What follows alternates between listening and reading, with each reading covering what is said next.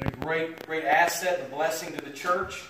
And uh, we talked to her a few weeks back about baptism, and she came to us, I guess it was Wednesday night, that God's been dealing with her, and she wanted to go ahead and get baptized in Jesus' name. So we're going to pray for her and her family.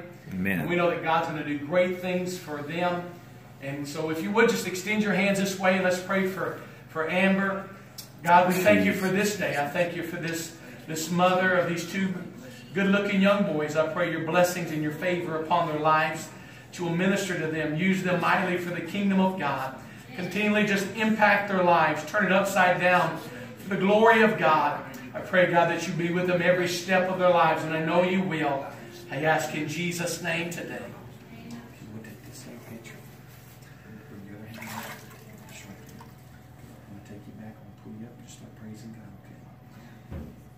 Amber, upon the confession of your faith in obedience to the Word of God, I baptize you in the name of the Lord Jesus Christ. I love you, Jesus. I thank you, Jesus. Hallelujah.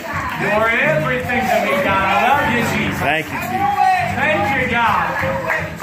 Oh, I love you, Jesus. Thank you, Jesus. Thank you. thank you for her faithfulness, for her hand power.